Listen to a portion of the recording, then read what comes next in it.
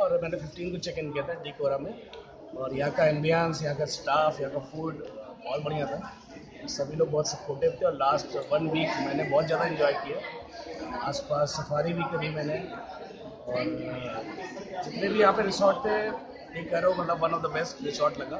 और सबसे अच्छी बात है स्टाफ का सपोर्ट और स्टाफ की हेल्प और स्टाफ का जिस तरह सर्विसेज़ थी वो बहुत बढ़िया था ज़्यादा फ़ूड की बात है, मेरे ख्याल से जितने भी रिसोर्ट है, सबसे बेस्ट फ़ूड था थैंक यू सो मच और बहुत जल्दी मैं अपनी फैमिली के साथ थैंक यू